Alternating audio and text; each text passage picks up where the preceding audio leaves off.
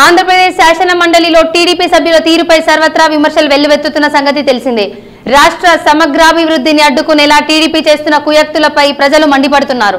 ఈ క్రమంలోనే టీడీపీ అధ్యక్షుడు చంద్రబాబు డైరెక్షన్లో టీడీపీ ఎమ్మెల్సీలు ఎలా యాక్షన్ చేశారో తెలిపే వీడియో ఒకటి బయటికొచ్చింది. మండలిలో తాము ఏ విధంగా రౌడీజం ప్రదర్శించామో టీడీపీ సభ్యులే స్వయంగా చంద్రబాబుకు వివరించారు. వారు అలా చెబుతుంటే చంద్రబాబు చాలా బాగా చేశారని వారిపై ప్రశంసలు కురిపించడం గమనార్హం. నలభై ఏళ్ళు రాజకీయాల్లో ఉన్న చంద్రబాబు టీడీపీ సభ్యులు బెజవాడ రౌడీయిజం అని ఓ ప్రాంతాన్ని అనుమానించేలా మాట్లాడినా కూడా ఆయన అభ్యంతరం వ్యక్తం చే వ్యక్తం చేయకపోవడంపై పలువురు విస్తుపోతున్నారు. హుందాగా ఉండాల్సిన పెద్దల సభలో టీడీపీ వ్యవహరించిన తీరు చర్చనీయాంశంగా మారింది.